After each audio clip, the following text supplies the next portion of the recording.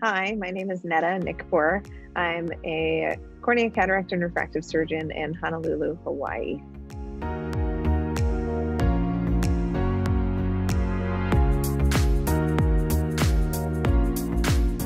So, one of the things that I am most excited about, which I think is I don't know, maybe five to 10 years off, the more I talk to people, is a true accommodating IOL. There's lots of work being done on true accommodating IOLs. There's lots of different models, lots, lots of different ways to do it, but it seems like we're actually getting closer. And I think once we have a, an accommodating optic, all these other variations of IOLs that provide increased range of vision but have some side effect profile are essentially going to go away. And we're going to have excellent quality of vision in an optic that just is a changing optic. The other really exciting thing that is to come with lenses is modular optics and modular IOLs and so I think once we have a multi-component IOL that we can implant something in the capsular bag that will maintain the space, potentially eliminate PCO, and then have an exchangeable optic then we'll be able to actually upgrade patients' lens technology as new technology becomes available because there is definitely some a little you know a little bit of resistance or a little bit of fear to committing for younger patients especially who have maybe a mild cataract or patients who are looking to do a refractive lens exchange. There's always a question of how much am i bothered now? Do i want to just take the technology that we have now or should i wait a couple of years? And you know, I think where we are now, a few years is probably not going to change anything, but five or 10 years may.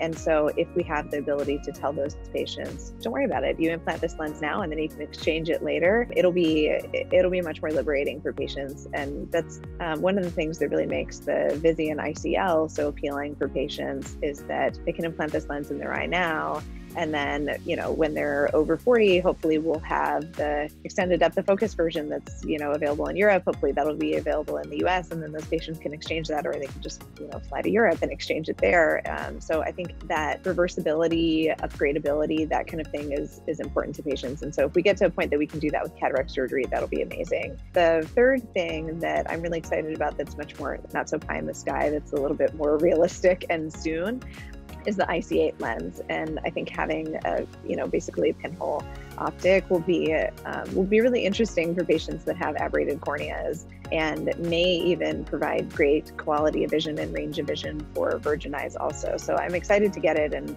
eventually start using it. You know, first in post RK, post, you know, highly aberrated, post refractive eyes, scarred corneas, PKs, things like that. But then maybe, you know, once once we kind of see how it performs, adapt that and start using it in virgin eyes also.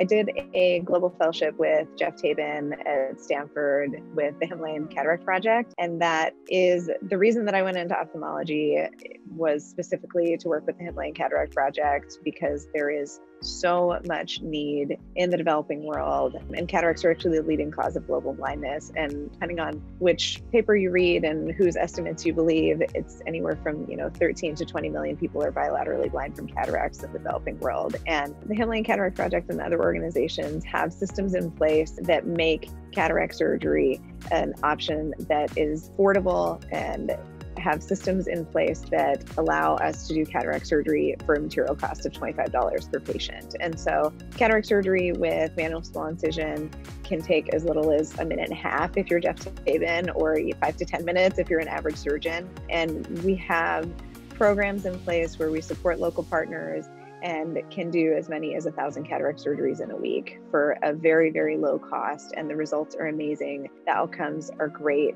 There's one study that Himalayan Cataract Project did that found that 80% of patients saw 20/40 or better on day one after cataract surgery. And so it is low cost, but it is high quality. And so, you know, I think it's important to keep in mind while we are all really excited, myself included, about advanced technology and all of the ways that we're improving upon cataract surgery in the US. I think it's important to keep in mind that there is still a global problem of blindness from cataracts in the developing world. So it's not just about, oh, what's the newest IOL that we can use and and how can we make our 2020 patients see 2015 you know like these are all things that i really care about But the other side of that coin is we still have millions of people in the world that are blind and tens of millions of people that are visually impaired from cataracts in the developing world. And so, as little as $25 can support curing blindness for one patient. And so, that's something that I think is always on my mind and i think is